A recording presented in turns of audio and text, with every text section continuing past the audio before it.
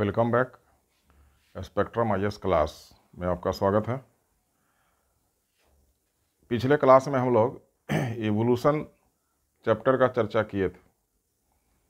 Evolution में concept यही लिए थे कि सरल जीव से जटिल जीव के विकास की प्रक्रिया को उद्विकास या इवोल्यूशन कहा जाता है।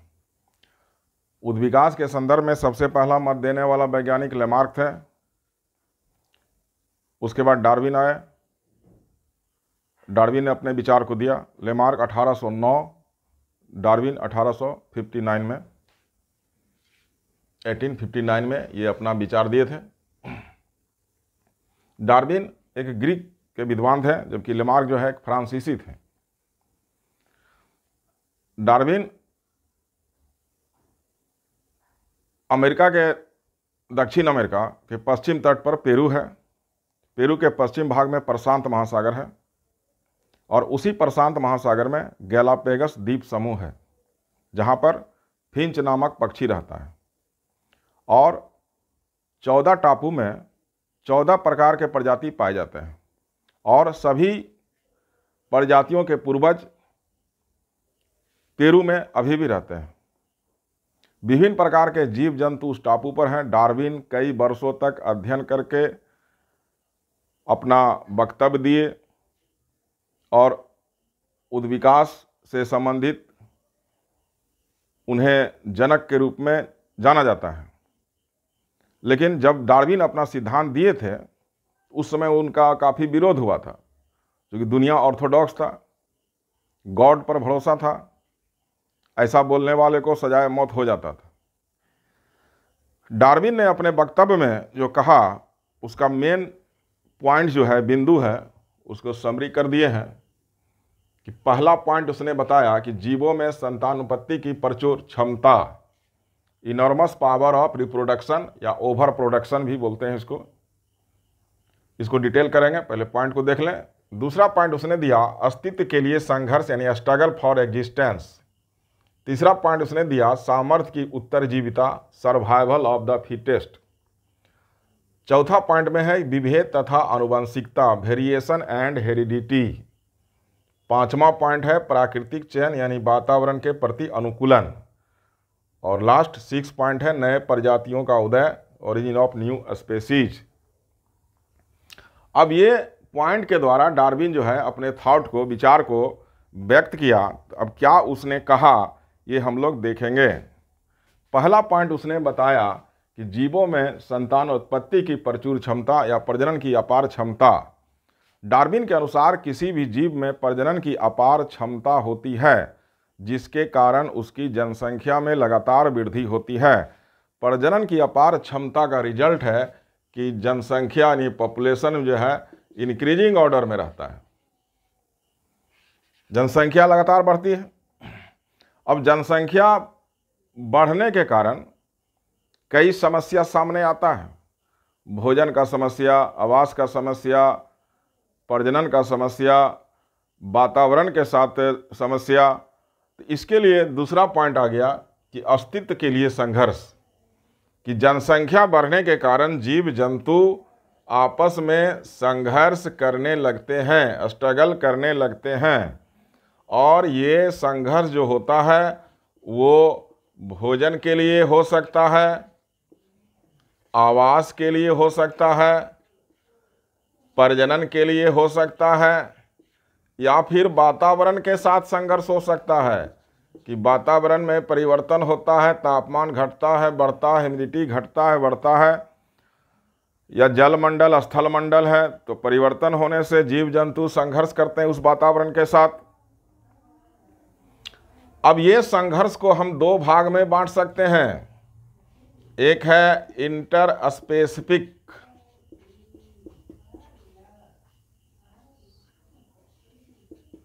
और दूसरा है इंट्रा स्पेसिफिक इंटर का मतलब इन बिटवीन यानी विभिन्न प्रजातियों के बीच जब संघर्ष हो, उसको इंटर स्पेसिफिक बोलते हैं। विभिन्न प्रजातियों के बीच। इंटरा का माने विदिन होता है मतलब समान प्रजातियों के बीच।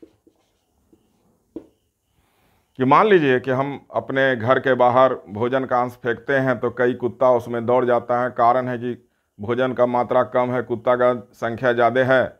इसलिए भोजन ग्रहण करने के पहले आपस में वो संघर्ष करते हैं कि कौन ग्रहण करेगा। तो समान प्रजाति के बीच होगा तो इंट्रा स्पेसिफिक हो जाएगा। कुत्ता और अन्न के बीच होगा तो इंटर इंटर हो जाएगा, या मनुष्य और अन्न के बीच होगा तो इंटर हो जाएगा, मनुष्य मनुष्य के बीच होगा तो इंटरा हो जाएगा। अब जनसंख्या लगातार बढ़ता है, इसको हम समझ सकते हैं कि हाथी जो काफ़ी धीमी गति से प्रजनन करने वाला जीव है। जनरली नब्बे से सौ साल एक हाथी जीवित रहता है, यदि एक जोड़ा हाथी नब्बे साल में औसतन छः बच्चे को जन्म देती है। फिर अगले नब्बे साल में छः गुना छः फिर अगले नब्बे साल में छत्तीस गुना छः फिर अगले नब्बे साल में छत्तीस गुना छत्तीस, फिर अगले नब्बे साल में छत्तीस गुना छत्तीस गुना छः जो लगभग आठ हज़ार के आएगा, पूरा अंक इस तरह का आएगा यानी आठ हज़ार हाथी कितना वर्ष क्रॉस किया तो एक, दो, तीन, चार, पाँच बार नब्बे लिखे यानी चार सौ पचास वर्ष क्रॉस करा है, एक जोड़ा हाथी को लिए है तो 450 वर्ष में एक जोड़ा हाथी से लगभग 8000 हाथी बन गए।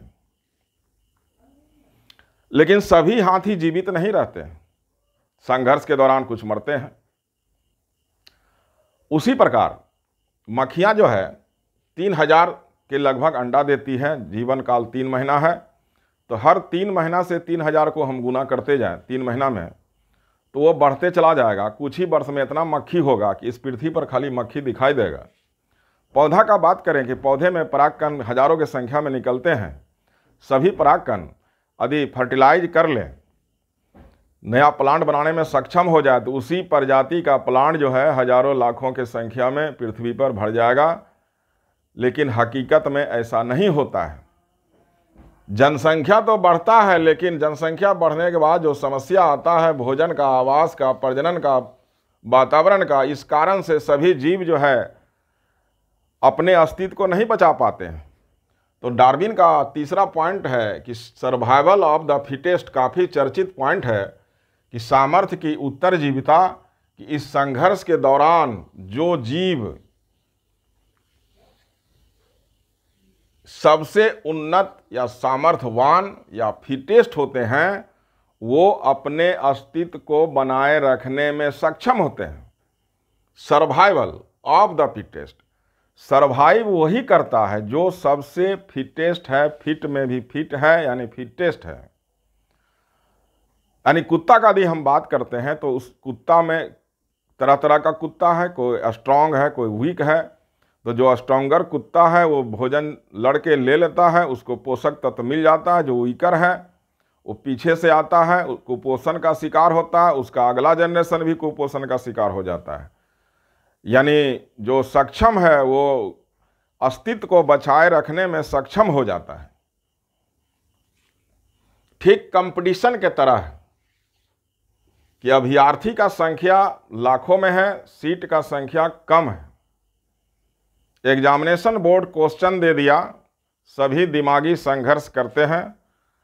लेकिन बात तय है कि उस संघर्ष में वही सक्षम होगा, आगे आएगा फिटेस्ट होगा सरवाइव करेगा, जो ऊपर का अंक लाएगा, अन्न को दाब के आगे बढ़ेगा। तो प्रकृति में भी यही होता है। अब यहाँ पर पॉइंट आ गया कि विभेद तथा अनुवंशिकता। जैसा कि हम कुत्ता को उदाहरण बना के चल रहे हैं कि स्ट्रॉन्गर वीकर तो कोई भी प्रजाति लिया जाए तो सभी प्रजाति के जो मेंबर हैं, वो एक समान नहीं होते हैं।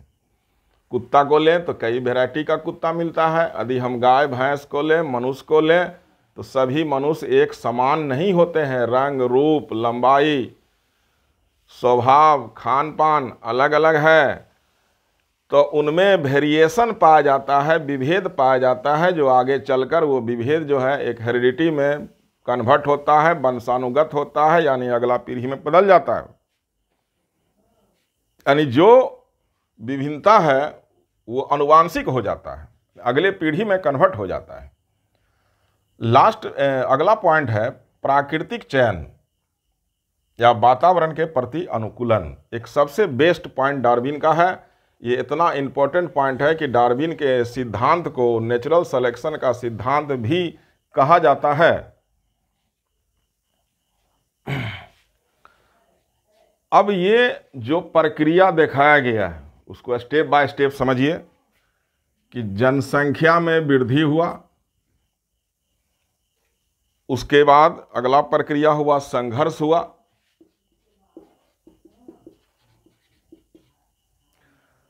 संघर्ष होने के बाद जो सक्षम जीव है, वो सरवाइव कर गया। तो सक्षम जीव सरवाइव कर गया।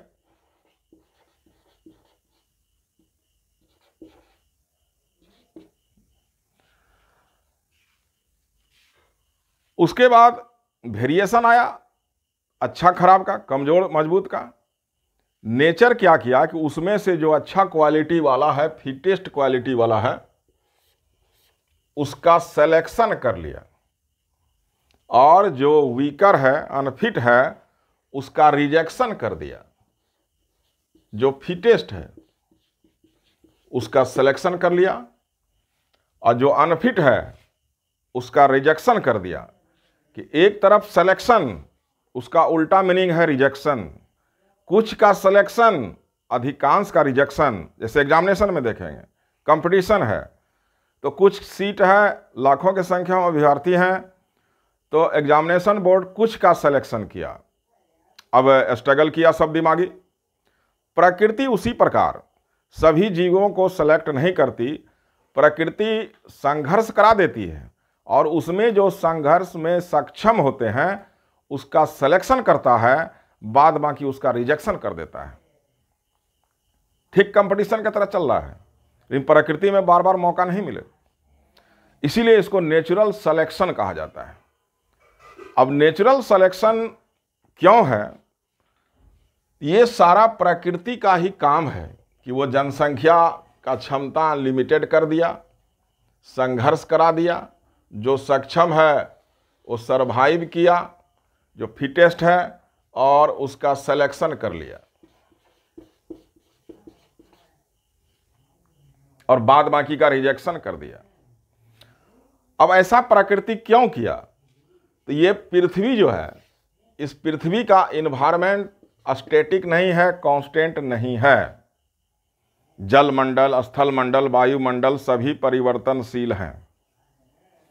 अब स्थल मंडल का बात करेंगे तो पहले साउदर्न एरिया में ज़्यादा था, आज के डेट में नॉर्दर्न एरिया में ज़्यादा है, ईस्ट से वेस्ट माइग्रेशन है, प्लेट टेक्टोनिक में हम लोग पढ़ते हैं, यानी ये माइग्रेशन होता है। आज मरुस्थल है, कल जंगल बन जाएगा, आज प्लेन है, कल पहाड़ बन जाएगा, आज पहाड़ है, कल प्लेन बन जाएगा, यानी जोग्राफिकल चेंजिंग मस्ट है, नीचे का लेयर ऊपर ऊपर का लेयर नीचे। ये लॉन्ग टर्म इफ़ेक्ट है। तो इन्वायरमेंट इज़ ऑलवेज चेंजिबल अब एक स्टेटमेंट आ गया। कि वातावरण हमेशा परिवर्तनशील है और प्रकृति जान रहा है कि आने वाला वातावरण कैसा होगा। तो उस वातावरण में कमज़ोर जीव सर्वाइव नहीं कर पाएगा। इसलिए जो सक्षम है, जो संघर्ष करने में कामयाब है, उसको मौका दिया जाता है कि इस अगले वातावरण में वो रहे। बाद बाकी को यहाँ से हटा दिया जाता है। नेचर का भी एक मजबूरी है कि उसको जीवन चलाते रहना है और जीवन को चलाते रहने के लिए वो वीकर को, कमज़ोर को अनफिट को मौका देना नहीं चाहता है। इसलिए जो फिटेस्ट है, उसको जनरेशन को आगे बढ़ाता है अनफिट को हटा देता है। इसका कारण क्या है? कि कारण है कि इन्वायरमेंट इज़ ऑलवेज चेंजेबल तो इन्वायरमेंट चेंजेबल है तो प्रकृति क्या किया? कि नेचुरल सिलेक्शन किया। कि नेचुरल सिलेक्शन का मतलब क्या हुआ? कि nature select better and better individual for next environment because environment is always changeable अब फॉर नेक्स्ट इन्वायरमेंट आने वाला जो इन्वायरमेंट है फोर्थ कमिंग इन्वायरमेंट है, उसके लिए वो नए प्रजाति, नए सक्षम जीव को सिलेक्शन कर लिया। अब इस कारण से जब वेरिएशन हो गया, काफ़ी वेरिएशन हो गया वेरिएशन होते होते वो नया प्रजाति के रूप में उसका प्राधाव हुआ। तो एक तरफ़ सिलेक्शन एक तरफ़ रिजेक्शन यही कारण है कि इस पृथ्वी पर कई जीव विलुप्त हो चुके हैं, जैसे डायनासोर डोडो आर्क्योप्टेरिक्स और नेचुरल रिजेक्शन होगी। और कई जीव जंतु संकटग्रस्त हो गए हैं। भारतीय पांडा, गेंडा, मगरमच्छ, कछुआ, डॉल्फिन, जंगली गधा, उजला बाघ, एशियाई हाथी, उड़ने वाला गिलहरी जो साउथ में पाया जाता है, नीलगिरी पर्वत के आसपास, ये सब जो है, संकटग्रस्त है, संख्या घट रहा है, वो संघर्ष नहीं कर पा रहे हैं। तो नेचर ऐसे जीव जंतु को लाइक नहीं करता है, इसलिए इसको हम नेचुरल सेलेक्शन के रूप में जानते हैं। डार्विन ने तो प्राकृतिक चयन का सिद्धांत दिया, लेकिन हम कुछ उदाहरण यहाँ पर देख लें, प्राकृतिक चयन का जो बेस्ट एग्ज़ाम्पल माना जाता है।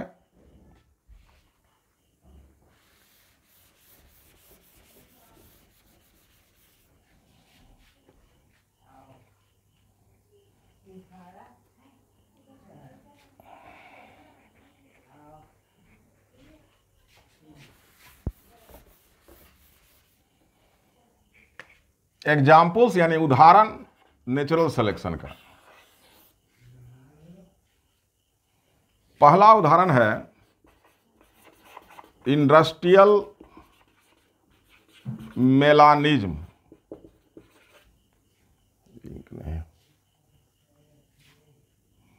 अब इसको समझिए।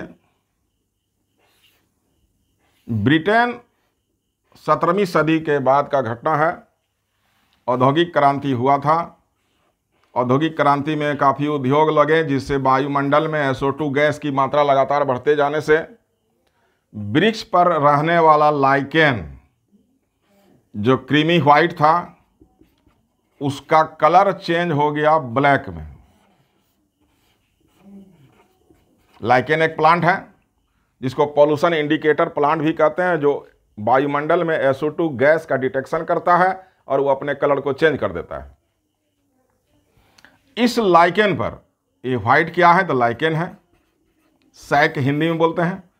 एक कीट रहता था, जिसको मौत कहते हैं।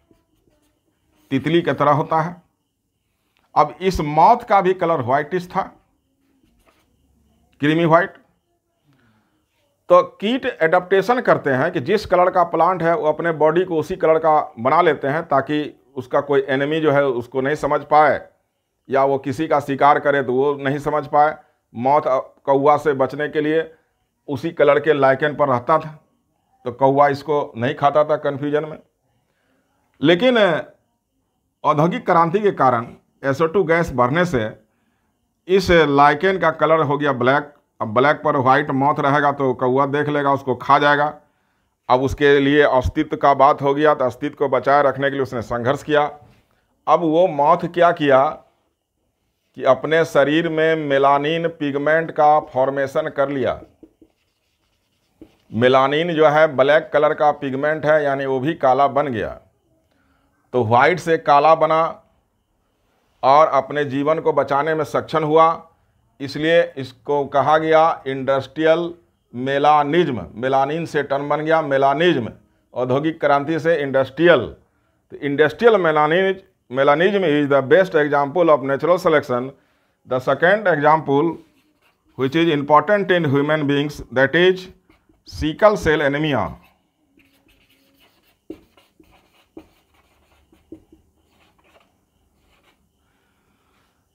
the cause of sickle cell anaemia is gene mutation पुरानी बात है अफ्रीका के जंगल में काफ़ी मच्छर हुआ करते थे। मच्छर के काटने से मलेरिया नामक बीमारी होती है। मच्छर के लार ग्रंथि में प्लाज्मोडियम प्रोटोजोवा नामक परजीवी रहता है और वो प्लाज्मोडियम मच्छर काटने के दौरान जो है मनुष्य के रक्त में प्रवेश करता है, लीवर में जाता है साइजॉन्ट बनाता है, आरबीसी को खाता है और अपना संख्या बढ़ाता है। ह्यूमन का नॉर्मल आरबीसी जो है गोलाकार और उभय अवतल बाई कनकेब होता है। इसी पर प्लाज्मोडियम सर्वाइव करता है। लेकिन वहाँ जीन म्यूटेशन के कारण इस आरबीसी का आकार जो है हसियाकार हो गया, सीकल सेप हो गया। धान काटने वाला हसिया जो होता है, सीकल का मतलब होता है। तो सीकल सेप आरबीसी जब बन गया तो इस पर मलेरिया पैरासाइड जो है, प्लाज्मोडियम, वो सर्वाइव नहीं कर पाया। यानी निष्कर्ष निकला कि जिस व्यक्ति को सीकल सेल एनीमिया है उसको मलेरिया रोग नहीं होगा, लेकिन इसमें कंडीशन है। होमोजाइगस और हेट्रोजाइगस यदि ये होमोजाइगस अवस्था में रहेगा तो जानलेवा होगा। यदि यह हेट्रोजाइगस अवस्था में रहेगा तो ये वरदान होगा कि उसको मलेरिया रोग नहीं होगा। ये मनुष्य में नेचुरल सिलेक्शन का सबसे बेस्ट एग्ज़ाम्पल है। नेचुरल सिलेक्शन का अपवाद भी, जिसको हम आर्टिफिशियल सिलेक्शन के रूप में जानते हैं। नेचुरल सिलेक्शन का अपवाद आर्टिफिशियल सिलेक्शन कृत्रिम चयन। कृत्रिम चयन का मतलब यह हुआ कि मानव जनसंख्या में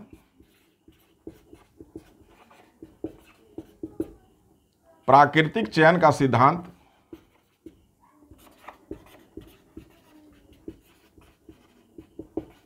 पूर्णतः लागू नहीं होता।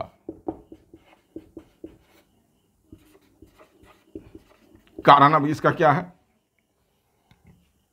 कारण है साइंस एंड टेक्नोलॉजी का विकास। कि जब से साइंस एंड टेक्नोलॉजी विकसित हुआ है, तब से पूरे विश्व में मानव का जनसंख्या बढ़ने लगा है। मेडिकल फैसिलिटी, एंटीबायोटिक का प्रयोग, वैक्सीनेशन रक्त आधान कृत्रिम अंग प्रत्यारोपण, ये सारे चीज़ हैं जो मानव को प्राकृतिक आपदा से बचा लेते हैं। प्राकृतिक जो है जनसंख्या नियंत्रण करने के लिए आपदा लाती है, लेकिन मानव जो है, आपदा प्रबंधन जो है के तहत जो है जनसंख्या को बचाने में सक्षम हो जाता है। यानी ये जितना सारा चीज़ जो है, जो वैज्ञानिक साधन है, मेडिकल फैसिलिटीज़ है, वो प्रकृति को चुनौती देता है। इसलिए मानव जनसंख्या औद्योगिक समाज में, आधुनिक समाज में बढ़ता है। लेकिन यदि हम जनजातियों का बात करें तो जनजाति प्रकृतिवादी होते हैं। वो ज़्यादा आधुनिक विज्ञान प्रौद्योगिकी का प्रयोग नहीं करते हैं, इसलिए पूरे विश्व में जनजातियों का जनसंख्या लगभग स्थिर देखा जाता है। डार्विन ने जो सिद्धांत दिया प्राकृतिक चयन का, उसका उदाहरण हम दिए। अब इसका कुछ आलोचना किया गया है डार्विन का। उस आलोचना को हम पॉइंट बद यहाँ कर रहे हैं कि पहला पॉइंट हम लेते हैं कि इन्होंने विभिन्नता की बात की, लेकिन यह किस प्रकार आता है नहीं बताया। कि वेरिएशन का बात डार्विन करते हैं, लेकिन वेरिएशन आने का कारण क्या है, क्यों आता है, इसका डिटेल उसने नहीं किया, ये इसका खामी है। दूसरा पॉइंट में इसने कहा कि इन्होंने विभेद को मुद्दा बनाया है। लेकिन विभेद यानी वेरिएशन को उद्विकास के लिए जिम्मेवार माना है, लेकिन छोटे विभेद अनुवांशिक नहीं होते। कि उद्विकास का मुख्य कारण डार्विन के अनुसार जो है वेरिएशन है, विभेद है, लेकिन छोटे छोटे वेरिएशन कि जैसे हम धूप में बहुत देर तक रहेंगे तो हल्का स्किन में कालापन आ जाता है। मान लीजिए एक सप्ताह, दस दिन, एक महीना, दो महीना धूप में काम करें तो स्किन में कालापन आ जाता है, मेलानिन का फॉर्मेशन बढ़ जाता है तो ये वेरिएशन अगले जनरेशन में नहीं जाता है। यानी छोटे विभेद जो है अनुवांशिक नहीं होते। इसकी व्याख्या डार्विन ने नहीं की थी। इन्होंने अवशेषी अंगों की चर्चा नहीं की, जो उद्विकास का एक प्रमुख कारण माना जाता है। लेमार्क का जो वक्तव्य था, उसमें अवशेषी अंग एक प्रमुख मुद्दा था कि use and disuse of organ के बारे में उसने चर्चा की थी। लेकिन, डार्विन जो है अवशेषी के बारे में नहीं बताया। यूज़ एंड डिसयूज के बारे में कहना था लेमार का कि जिस अंग का उपयोग हम बार बार लगातार अधिक करते हैं तो उसके आकार में वृद्धि हो जाती है, उसके उल्टा जिसमें कम यूज़ करें, नहीं करें तो उसके आकार घटता है, अवशेषी होता है और लास्ट में विलुप्त हो जाता है। लेकिन डार्विन इस पर कोई व्याख्या नहीं दिया है, जो उसका एक आलोचना है। चौथा पॉइंट है कि डार्विन ने दैहिक कोशिका, यानी बॉडी सेल या सोमेटिक सेल और जनन कोशिका, यानी रिप्रोडक्टिव सेल या गैमिट में अंतर स्पष्ट नहीं किया है। डार्विन का पेंजेनेसिस का सिद्धांत इसके विपरीत है। डार्विन ने एक सिद्धांत और दे दिया है पेंजेनेसिस उनका कहना था कि पेनजीन एक वर्ड दिया उसने कि पेनजीन जो है एक सूक्ष्म कण है, जो जीव के अंगों में रहते हैं और रक्त प्रवाह के द्वारा ये जो है जनन द्रव यानी जर्म प्लाज में पहुँच जाते हैं और जर्म प्लाज में पहुँचने के बाद ये प्रभावित करते हैं अगले पीढ़ी को। यानी जो इन्वायरमेंटल इफ़ेक्ट है पेन जीन के द्वारा जर्म प्लाज में और जर्म प्लाज से नेक्स्ट जनरेशन में होता है। तो डार्विन का जो नेचुरल सिलेक्शन है, वो उसके विपरीत ये है सिद्धांत। डार्विन खुद अपने नेचुरल सिलेक्शन को पेंजेनेसी सिद्धांत में काटते हैं। छठा पॉइंट है कि डार्विन ने उद्विकास का एकमात्र कारण प्राकृतिक चयन को बताया। लेकिन वर्तमान जो स्टडी है, आधुनिक स्टडी है, अध्ययन है, से पता चलता है कि उत्परिवर्तन अंत प्रजनन इनब्रीडिंग और जीनीय अपसरण जेनेटिक ड्रिफ्ट आदि भी इसके लिए जिम्मेवार हैं। यानी जब हम पढ़ेंगे संश्लेषणात्मक सिद्धांत तो ये तीनों पॉइंट काफ़ी इंपॉर्टेंट रखता है, जिसमें जीन म्यूटेशन जो है काफ़ी इंपॉर्टेंट है, कि इवोल्यूशन के लिए रिस्पॉन्सिबल होता है। ऐसी चर्चा डार्विन नहीं की थी, हालाँकि डार्विन का ही मजबूरी था, कि उस समय ना साइटोलॉजी था, ना जेनेटिक्स था, ना बायोकेमिस्ट्री था, ना बायोटेक्नोलॉजी था। माइक्रोबायोलॉजी नहीं था तो इस कारण से डार्विन जो अवेलेबल था स्टडी मटेरियल, उस अनुसार वो बहुत बड़ा काम किए। लेकिन आज जब हम माइक्रो लेवल पर जाते हैं तो और भी कई फैक्टर हैं। उसके बावजूद भी डार्विन का जो ये सिद्धांत है, काफ़ी प्रासंगिक है। तो निष्कर्ष में हम लेते हैं कि इन आलोचनाओं के बावजूद आज भी डार्विनवाद नए पर नए प्रयोग हो रहे हैं। इनके अनुयायियों ने, फॉलोअर्स ने इस सिद्धांत पर अनुसंधान कर इसे आगे बढ़ाया। जिसे नव डार्विनवाद कहते हैं, कि इसका कुछ तो कमेंट हुआ, लेकिन कमेंट होने के बावजूद आज के डेट में नेचुरल सिलेक्शन जो है सर्वाइवल ऑफ़ द फिटेस्ट है, वो काफ़ी जो है प्रासंगिक है, इसलिए इनके फॉलोअर जो हैं, इसके निगेटिव को हटाकर, जिसका जो पॉजिटिव है, उस पर विचार किया और उसको आगे बढ़ाया, उसी को हम लोग नव डार्विनवाद कहते हैं, जिसकी चर्चा हम अगले क्लास में करेंगे। अब इस वीडियो को आप आराम से राइट डाउन कर लीजिएगा और क्वेश्चन का जो फॉर्मेट है कि उद्विकास से क्या समझते हैं, इस संदर्भ में डार्विन के द्वारा दिए गए सिद्धांत की चर्चा करें। या डायरेक्ट क्वेश्चन होगा कि डार्विनवाद क्या है, आलोचनात्मक व्याख्या करें। अब आलोचना लिखे ना लिखें, चर्चा भी करें तो आपको सारा चीज़ देना है, आलोचना भी देना है और आराम से पॉइंट बद इसको मैनेज करना है। इस पाँच छः पॉइंट को हम देंगे पहले, उसके बाद इसका उदाहरण देंगे हल्का सा, क्योंकि आपको जगह भी कम रहता है, आलोचना करेंगे, निष्कर्ष दे देंगे तो अच्छा मार्क्स हमको आ सकता है। तो इसी के साथ अगला जारी रहेगा। चैनल को सब्सक्राइब, लाइक ज़रूर करें। जय हिंद।